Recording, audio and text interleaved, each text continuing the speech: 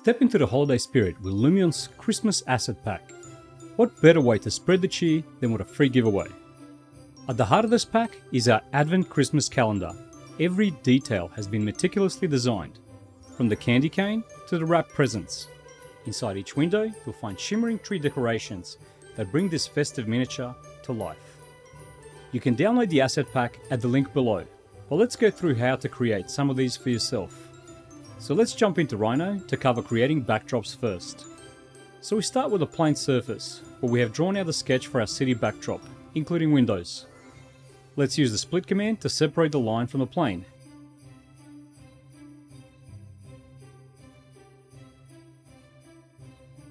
And then delete the rest.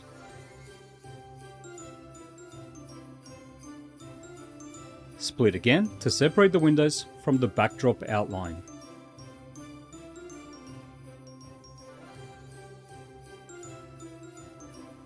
We can now group the two items and set them to the correct layers.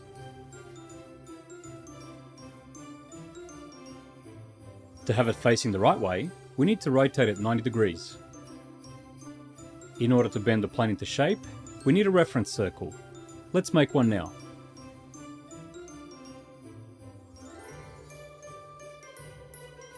Once we have it in place, we can use the bend command for our backdrop. Just select the start and end points. After this, it's only a matter of assigning a material to the separate layers.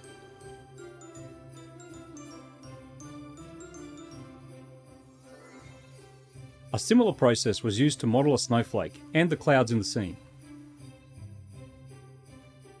Here, we see how ensuring that the pivot point is correctly placed in the CAD software enables us to rotate this window around the insertion point. We already have a couple of animations, but we can take it up a notch. We will save a new camera position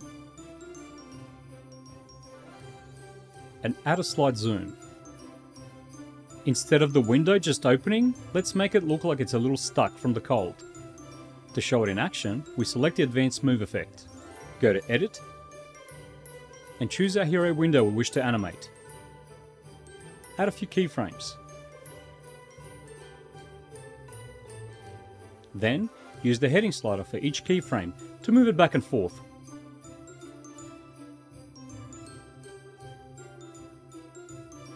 With a big push at the end.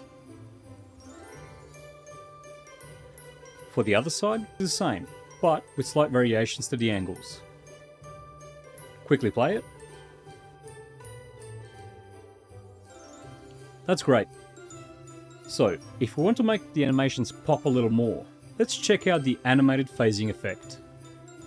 Let's disable the Windows layer here to make it easier to select. The presents are a nice starting point. Go to Add, select Objects,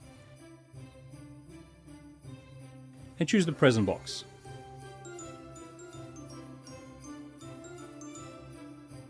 Then, set the duration, phasing effect style,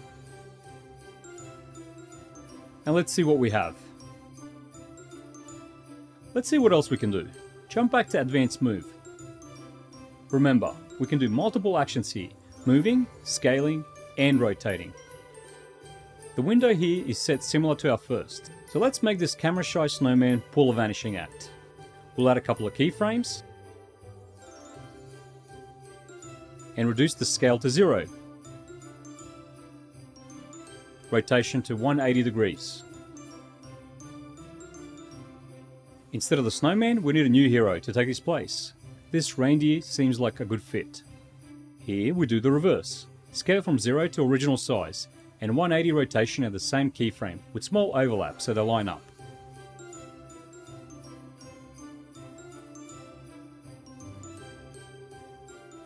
Again, to make it pop, let's add another keyframe for the over-eager reindeer here in the second frame, just changing the height slightly so it looks like he's jumping and rotating in.